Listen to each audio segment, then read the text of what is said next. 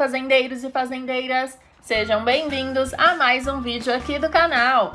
E hoje vim trazer aí umas dicas bem legais para vocês que estão precisando subir de nível. Então hoje vou falar aí as três melhores formas de vocês ganharem bastante XP. Então já deixa o like nesse vídeo, se inscreve aqui no canal se você é novo por aqui e bora lá pro vídeo de hoje! Bom, pessoal, como eu falei, hoje eu vou trazer aí algumas diquinhas de como tá ganhando bastante XP, né, facilmente e também de uma forma mais rápida aqui no jogo. Sei que existem aí, né, diversas maneiras, diversas formas de tá ganhando XP, tem muitas ações que a gente faz aqui no jogo que nos dão esse XP, porém, algumas dessas ações nos dão mais XP e outras menos. Então hoje eu vou trazer três formas aí que vocês podem estar tá ganhando um pouquinho a mais de XP para estar tá ajudando a subir de nível, tá legal?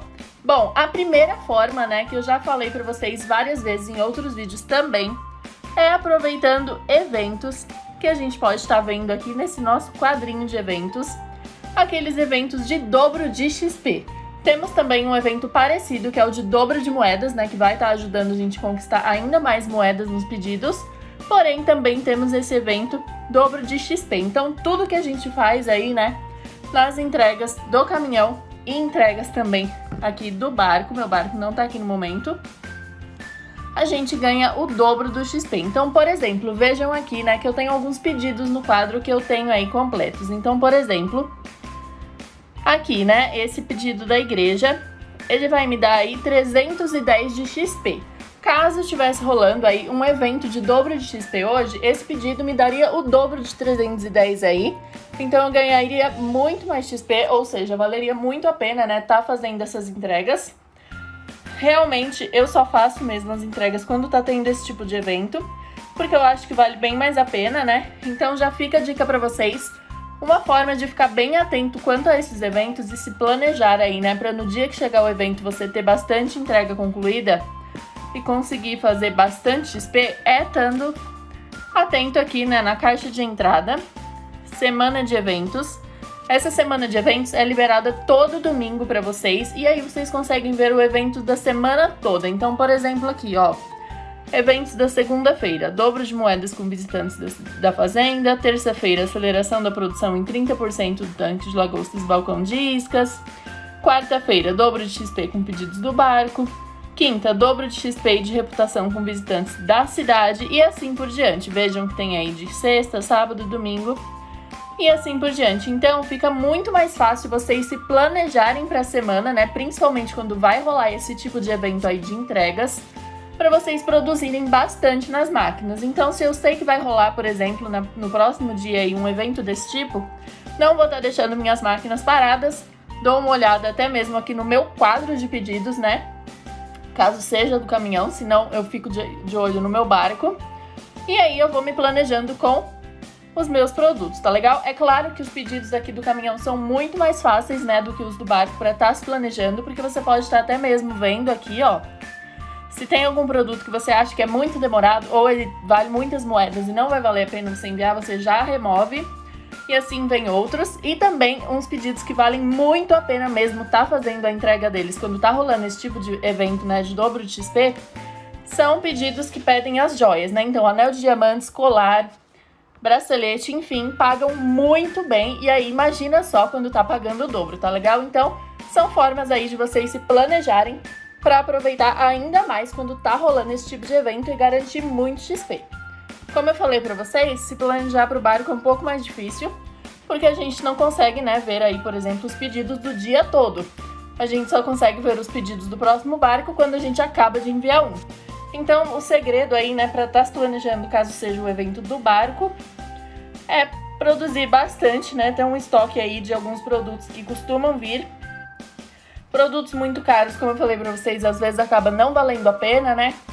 Enfim, Outra coisa aí, outra super dica associada aos eventos de dobro XP são os aceleradores, que a gente vê aqui ao lado da barrinha de amigos.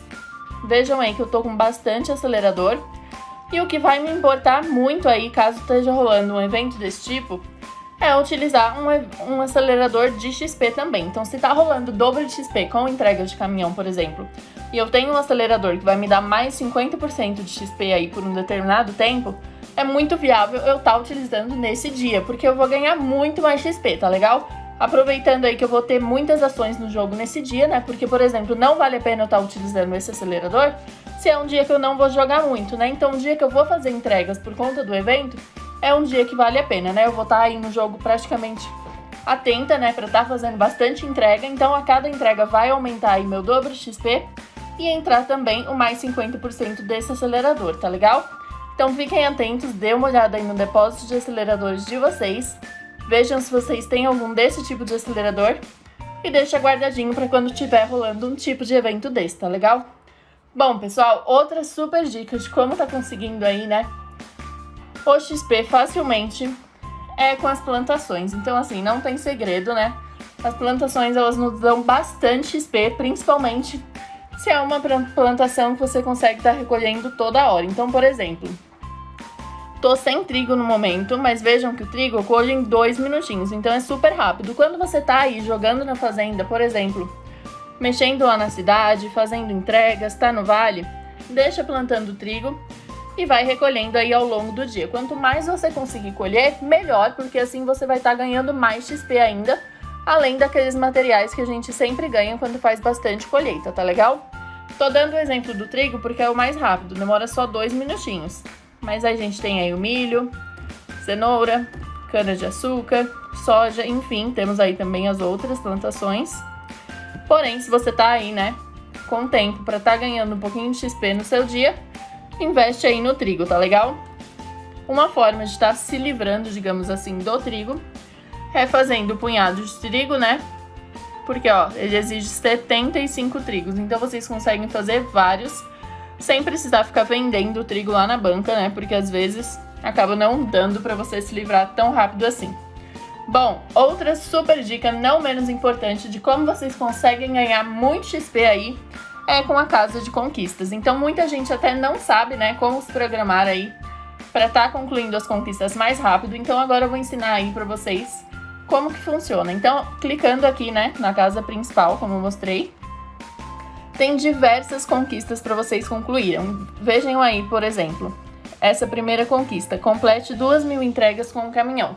Eu já completei tudo, então não tá aparecendo aí quanto que eu recebo de XP, quanto eu recebo de diamantes, enfim porque é uma conquista já concluída. Eu tô com muitas concluídas. Vamos ver essa segunda aqui. Por exemplo, venda produtos para clientes visitantes 2.500 vezes. Como eu já comentei com vocês, é muito difícil eu fazer né, vendas para visitantes aqui na minha fazenda, porque muitas vezes eles pedem coisas que se eu vender na banca eu vou ganhar muito mais moedas. Então é até por isso que essa minha conquista não está totalmente concluída ainda. Mas vejam aí que, por exemplo, se eu concluir ao longo do tempo, eu vou receber, receber aí 1.720 de XP e 3 diamantes. Então, além de todo esse XP que a gente recebe completando essas conquistas, a gente ainda ganha muitos diamantes. Tem umas conquistas aqui que dá pouquinho diamantes, mas tem outras que dão muito diamante. Então, assim, vale super a pena. Se você nunca se atentou à casa de conquistas, abre a sua, dá uma olhada em cada conquista que você pode estar concluindo, porque às vezes tem umas bem facinhas só que você não sabia, né, que poderia estar fazendo aí, realizando de forma fácil e acaba deixando de lado. Então é uma chance de você se atentar às suas conquistas e fazendo aí as mais fáceis, né, durante o dia a dia e conquistando ainda mais rápido e recebendo todo esse XP e ainda os diamantes, tá legal? Vou mostrar mais alguns exemplos para vocês, ó, vejam aqui, por exemplo, entregue 30 pedidos do caminhão em 30 minutos. Aqui, Carregue completamente 12 barcos consecutivos, né, um atrás do outro. Aqui, invista 50 mil moedas na decoração de sua fazenda. Como eu falei para vocês, tem umas conquistas bem facinhas, né, que a gente vai concluindo ao longo do nosso dia ou jogando diariamente. Tem outras que são mais planejadas, né? Por exemplo, essa de estar tá gastando 50 mil moedas na decoração. Aqui, por exemplo, reviva 2 mil árvores ou arbustos isso é uma conquista que você vai fazer ao decorrer do seu dia a dia no jogo. Aqui, por exemplo, produza 3.800 barras de metais preciosos, né? Que são aquelas barras que a gente faz com o minério lá nos fundidores. Vejam que eu também não terminei de concluir essa conquista ainda e vejam a quantidade de XP que eu posso estar recebendo com ela.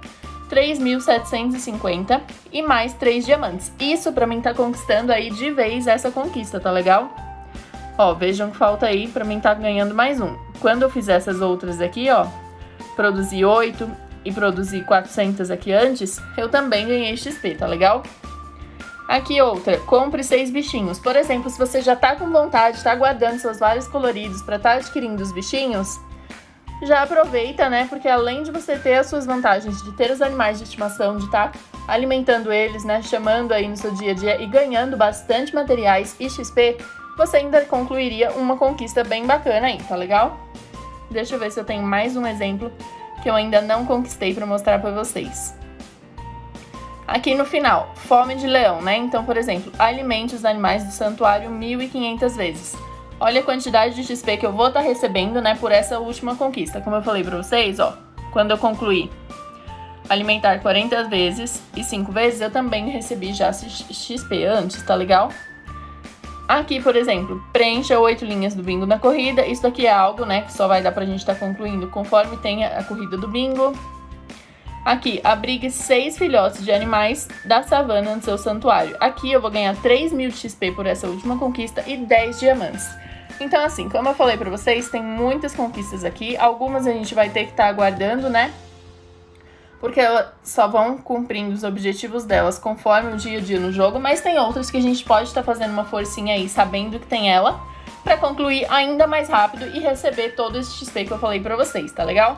Bom, pessoal, como eu falei pra vocês hoje, tem muitas formas de estar tá ganhando XP aqui no jogo porque todas as nossas ações praticamente nos dão XP. Então, assim, quando eu recolho frutos aqui embaixo, eu recebo XP, recolher as plantações, quando eu recolho até mesmo, né, itens que eu deixei produzindo nas minhas máquinas, eu recebo XP. Quando eu chamo meus animaizinhos de estimação, né, alimentos, eu ganho XP. Então, assim, tem muitas ações no jogo. Hoje eu trouxe aí três, né, principais que eu acho que vale super a pena vocês investirem nelas, porque realmente vai ajudar a subir de nível.